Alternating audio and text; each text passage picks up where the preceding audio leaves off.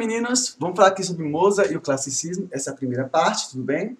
Então é bem introdutória mesmo. Gente, o Mozart é considerado o maior compositor do período clássico e há quem diga que ele é o maior compositor do período, ou perdão, e há quem diga que ele é o maior compositor da música ocidental. Por incrível que pareça. Por incrível que pareça. Tio Close é tão bom desse jeito a música sempre, gente, foi algo muito ligado à questão de gosto pessoal, obviamente. Mas já que nós estamos falando de música clássica, e a música clássica primazia a questão do, da técnica, então o Mozart foi bem além disso. Na verdade, nós podemos dizer que enquanto a maioria dos compositores estavam num certo nível, ele estava bem acima desse nível. Bem acima dele. O nome completo do camarada é Wolfgang Amadeus von Mozart. Tá? O Mozart, ele, como eu disse para vocês no nosso videozinho, no primeiro videozinho, ele começou muito, muito cedo mesmo. Tá? Muito cedo mesmo. Então, digamos que é aquele camarada que nasceu para aquilo e teve outras vantagens. Ele tinha o dom para aquilo, ele nasceu em um local onde as pessoas motivavam o dom dele, sabe? E também conheceu as pessoas certas. Então, digamos assim, é como se, é como se tudo, tudo, tudo indicasse que ele tinha que ser o grande compositor da época. O grande compositor da época. E o tal do Beethoven? Ele veio antes do Beethoven. Não antes, antes, antes, antes. Os dois acabaram se conhecendo. Mas quando o Mozart tinha por volta de seus 26 anos, tipo assim, 26, alguma coisa assim, o Beethoven ainda devia ter na base dos 15, talvez, sabe? Então, mas depois eu falo sobre o Beethoven.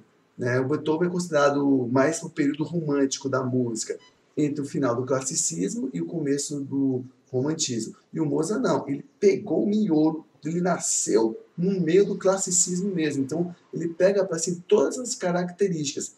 Gente, eu sou um grande fã do Mozart. Grande fã mesmo. Tenho aqui alguns CDs dele, só que esse CD não está mais guardado, eu escuto mais aqui no MP3, né? Então, mas ele fez muitas músicas assim, belíssimas. Tá? Vamos lá então.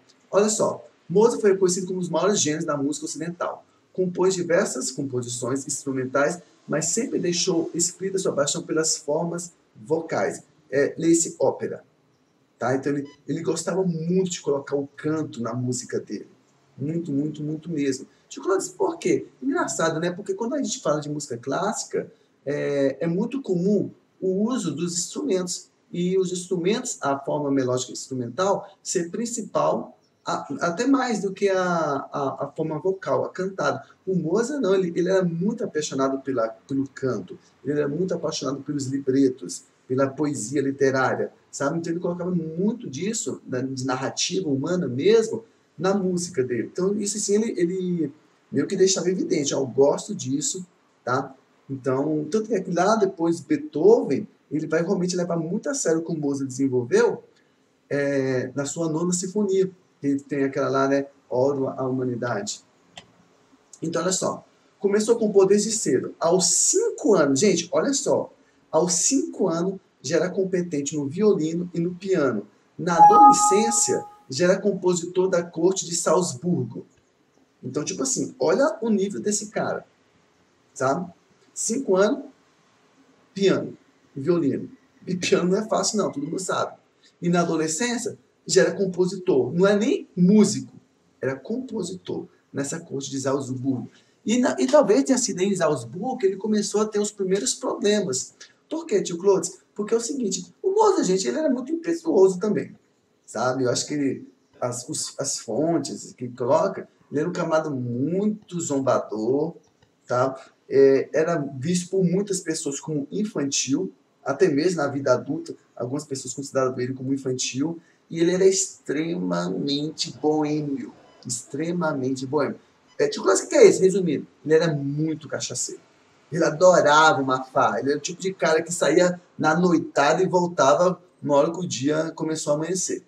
Então, vocês imaginam aí o, esse tipo assim, de personalidade numa corte da alta classe lá austríaca, germânica, alemã da época.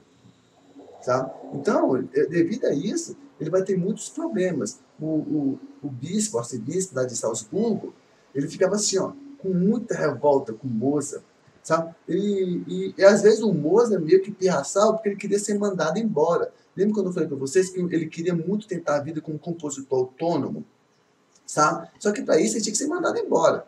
Ele podia ah, vou embora, você não é assim que a coisa funcionava, não.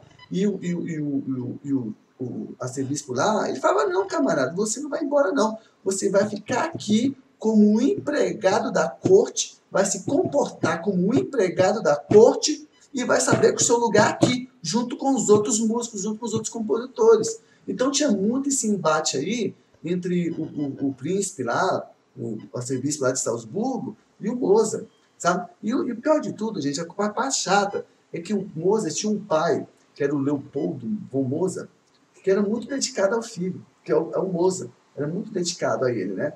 Então ele fazia de tudo pelo Mozart, talvez por isso ele tenha esse, esse caráter mimado que teve na vida adulta, né? E muitas vezes o, o, pai dele ia pedir perdão, tinha que ir perdão em público ao, o, a serviço lá de Salzburgo, é, em nome do filho. E, e, assim, por causa das atitudes e do comportamento do filho. Então era uma coisa muito chata, né? Olha lá, sua produção foi louvada por todos os críticos de sua época, embora muitos a considerassem excessivamente complexa e difícil. Isso é verdade, tá? Alguns relatos que nós temos da época, assim, colocam que o Mozart, gente, era o tipo de camarada que levava, assim, ó, os músicos, os instrumentistas, os cantores ao extremo. Ele tinha muita complexidade na música dele. Apesar que tem músicas dele que são extremamente simples. Pam, pam, pam, pam, pam, pam, pam, pam, pam, pam, pam, pam, pam, pam, pam, pam, e outras que são extremamente complexas.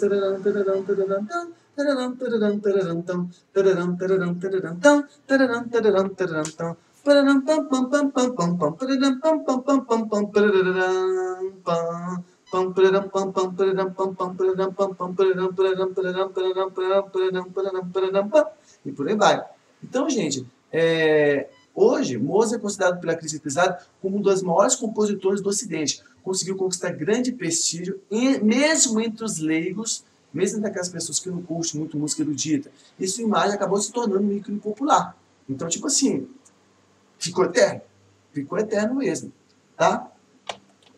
Obra musical. Olha lá. Depois de início influenciado pela estética do rococó, opa, nós vamos começar o rococó, sabe bem? Mozart desenvolveu uma parte. Hum. De novo. Hum, esses caminhoneiros. Desenvolveu uma parte dessa parte do tipo da história chamada como classicismo, assim chamada em vista de equilíbrio e perfeição formal. Tudo bem? Óperas.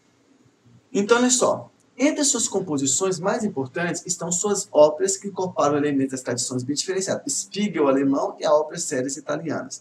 Entretanto, não pode se tornar essa categoria demais a ópera da letra, havendo muitas obras com traço comum. Gente, outra coisa que eu tenho que falar para vocês, o Mozart ele foi um defensor da língua alemã.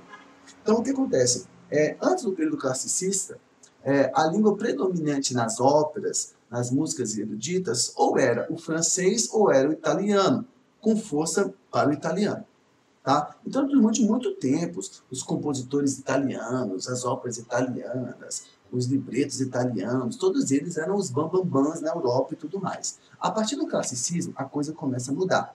A partir do classicismo, os compositores alemães eles começam a ficar extremamente competentes, extremamente fortalecidos. E a escola, as tradições de música alemã, começando lá por Bach, já começam a falar assim, ó, a coisa vai mudar. Agora é a gente que manda.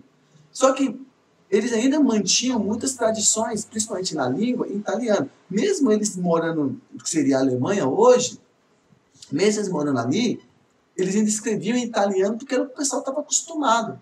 Então o Moza, ele foi um dos primeiros a falar o seguinte, quer saber? Nós iremos começar a escrever músicas em alemão. E ele começa, ele começa a atacar a música alemão e alemão e alemão e alemão e alemão. E aí o que rola?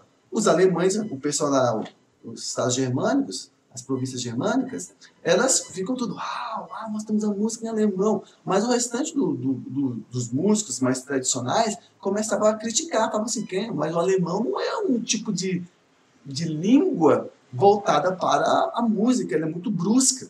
Mas o Mozart, ó, continuou. Lembra quando eu falei para vocês que ele vai acabar pagando por isso? Então, então muitas das óperas dele, muitos dos conhecimentos dele que estavam em alemão, é, fora da Alemanha, assim, tá? o pessoal começava a torcer o nariz porque estava na língua. Tá? Mas aí deixa isso para falar na frente, quando, na segunda parte. Tá? Olha lá. Ah, tá. Aqui somos algumas, algumas óperas que o Mozart fez que são extremamente famosas. Dies Aberflut, tá?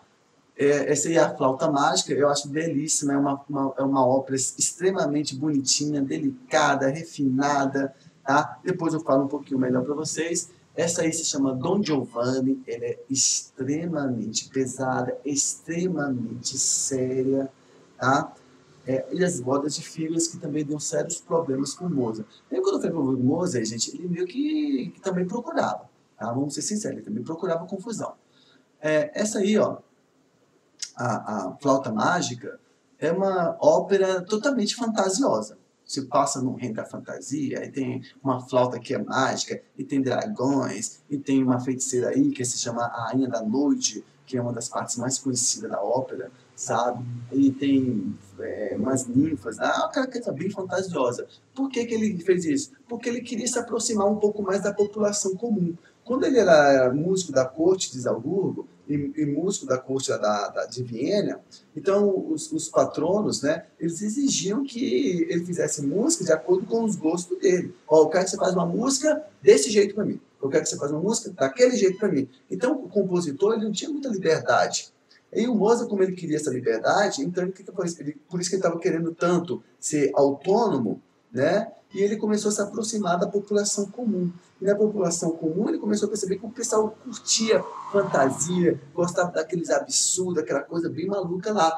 Então ele começou também a migrar um pouco para essas características. Um exemplo disso é a flauta mágica, Zia Zauberflut. Tá? Então o que aconteceu? É uma obra lindíssima, bonita, bem, digamos assim, suavezinha, tá? com personagens assim, para lá de legais e tudo mais. Muito bacana. Essa aí, Don Giovanni, é uma coisa extremamente séria. Tá? Don Giovanni, gente, na, na época foi feita, só foi assistida cinco vezes. É sério. Só teve cinco apresentações de Don Giovanni. Tá? Ela fala sobre elementos mais sérios. O final dela não é nem um pouco bonito. Não é, não é aquele final que você fala, nossa, que final feliz. Não, não tem um final feliz. Sabe? É uma coisa assim mais barra pesada, sabe? E essa aí, Las Bodas de Fígaro, ela também vai ter problemas porque ela é uma ópera política. Por quê? Porque nesse momento está acontecendo a Revolução Francesa na França. Está acontecendo aquelas, aquelas brigas lá, aquelas coisas todas, né? E, e as bodas de Fígaro, elas meio que dão uma pincelada nessa coisa aí. Eles colocam assim algumas características que possam, digamos, motivar a população a ir contra a nobreza. Tanto que é que, se eu não me engano, nessa ópera, o próprio príncipe da Áustria, né, em Viena, ele fala, moça, tira algumas coisas aí que você está falando coisas que são perigosas. Não se deve provocar o povo. Sabe? Aí, depois a gente pode conversar um pouco mais sobre isso. Tá? Essas são algumas obras dele, gente, são apenas algumas, tá? Então tem várias e várias obras. Ó, Dom Giovanni Fantomático, filho, tá bom? Olha só, concertos. Ele também foi muito fã de concertos. Tá? As óperas e os concertos foram as formas mais revelam a evolução da escrita orquestral de Mozart nos anos vienenses. E ambos compartilham de diversas características técnicas, expressivas e formais, no tratamento da parte solista, em relação à orquestra, adaptação da escrita, as capacidades de intérprete, como foi descrito. Ou seja, ele evolui. Aí. Ó.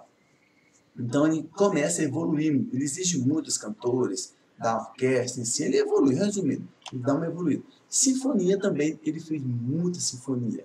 Tá? Ó, deu, após Rand, a maior contribuição à escrita sinfônica. Então, depois de Rand, Rand, tá? que é o, ele, é o, esse camarada é o responsável pelo hino da Alemanha, quem foi que mais contribuiu para a escrita assim, da sinfonia? O Mozart. Trabalhou no gênero de quase toda a sua carreira, Aí, as primeiras evidências influência de compositores como Bach, Friedrich Abel e outros que encontrou em suas viagens internacionais, mesclando estilos italianos, italianos e germânicos. Gente, ele também vai fazer muita música sacra. Muita música sacra mesmo. Música sacra, você sabe, religiosa, tá? Então, olha só. Suas principais sacras, as missas, seguem os princípios das escritas sinfônicas, mas são compostas com grande variedade de força, desde um simples quarteto, acompanhado pelo órgão, até peças que exigem orquestra. Influências diretas de Haydn, Ebel, seu pai Leopoldo, obviamente Bach, tá? Até, apesar que o Mozart disse que não era muito fã de Bach, mas também Bach. E ó, são aceitas atualmente com autênticas 17 missas de Mozart. Uma das mais famosas é Requiem, tá? É, gente, Requiem não é uma música do Mozart. Requiem é o estilo musical, é uma música para defunto. Só que o Requiem mais famoso que nós temos é o Requiem de Mozart, que nós teremos uma aula própria só sobre isso, tá? Olha lá. Requiem é um estilo musical feito sob encomenda para homenagear a alma de uma pessoa falecida da alta classe. É intimamente ligado às missas católicas. É, eu sei, é, nós estamos falando de Alemanha e tudo mais, tá? mas é ligado à missa católica. Porém, no classicismo, era usado por compositores, mesmo que esses não fossem o quê? Católicos. Então, Requiem é um tipo de música de origem católica, mas no classicismo, principalmente na Alemanha, eles utilizam. Lembra quando eu falei, gente, ó, apesar do barroco, apesar dessas coisas serem católicas, eles também vão chegar aonde? Em países não católicos, tal como Alemanha, Holanda, esses assim, tá? A palavra requiem é usada nas missas em latim. Requies alternas doni e domini. Dai-lhe repouso eterno, Senhor. É, se alguém aqui já assistiu a missa tridentina ou coisa do tipo, né, é, quando fala missa assim de funerária, então o padre começa com isso. Dai-lhe repouso eterno, Senhor. Só que antigamente era em latim, né? Requens alternas donas em dominix. Tá bom? E aí nós temos uma escultura, tá? Para ver. Meninos, então com isso nós terminamos essa primeira parte do Mozart e o classicismo, tá? Eu espero que vocês tenham gostado, eu espero que vocês estejam motivados para escutar Mozart, tá? E vamos lá. Gente, é um prazer estar com vocês, primeiro ano, tá? Novamente, eu desejo o melhor sempre a cada um de vocês. Espero que todos vocês estejam super bem, tá? Cuidem de vocês, cuidem da casa e de quem cuida de vocês, tá? Foi um prazer estar aqui. Fica o Papai do Céu e até semana que vem. Até mais, gurizada feliz!